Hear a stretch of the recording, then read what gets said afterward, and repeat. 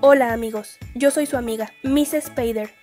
Estamos hablando de formación socioemocional. El día de hoy vamos a hablar de algo muy importante cuando hablamos de relaciones sexoafectivas. Los factores clave que nos ayudan a tener relaciones sanas y seguras. Consentimiento.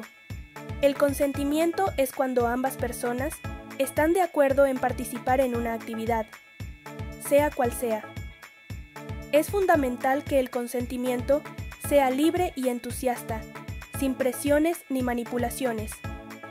Nadie debe hacer nada que no quiera hacer.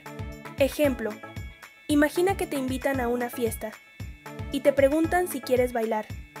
Si dices sí, porque realmente quieres, estás dando tu consentimiento. Pero si dices sí, solo porque te sientes obligado, entonces no es un verdadero consentimiento. Lo mismo aplica en cualquier actividad afectiva o sexual.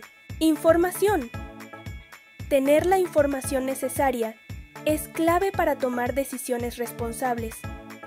Esto significa conocer los riesgos, las responsabilidades y las opciones disponibles antes de decidir participar en cualquier práctica afectiva o sexual. Si decides tener una relación sexual, es importante saber cómo protegerte contra enfermedades de transmisión sexual o un embarazo no planificado.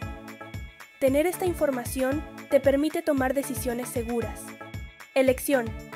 La elección es tu capacidad de decidir por ti mismo lo que quieres hacer, sin que nadie te presione o te obligue.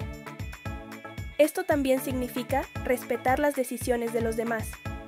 Si tú decides que no quieres participar en algo, esa es tu elección y debe ser respetada. Lo mismo sucede con la otra persona en la relación.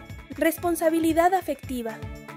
Ser responsable afectivamente significa cuidar de los sentimientos de la otra persona.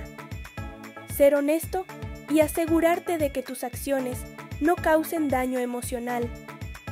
Si sabes que algo podría lastimar a tu pareja, como romper un acuerdo que hicieron.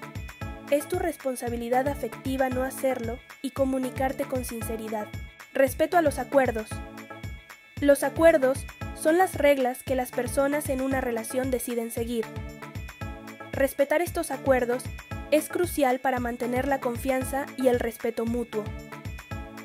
Si en tu relación han acordado ser exclusivos, es importante que ambos respeten ese acuerdo.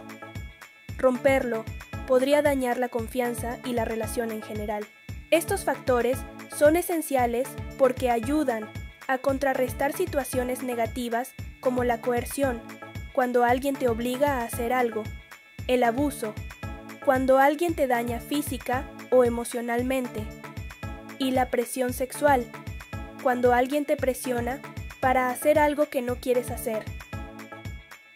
Al aplicar el consentimiento, la información, la elección, la responsabilidad afectiva y el respeto a los acuerdos, creamos relaciones más seguras, respetuosas y satisfactorias. En cualquier práctica sexoafectiva, estos factores son esenciales para garantizar que todos los involucrados se sientan seguros, respetados y valorados. Al reconocer su importancia, estamos contribuyendo a un entorno donde las relaciones se basan en el respeto mutuo y la libertad de elección. Bueno, nos vemos más adelante. Yo soy tu amiga, Miss Spider. Hasta pronto.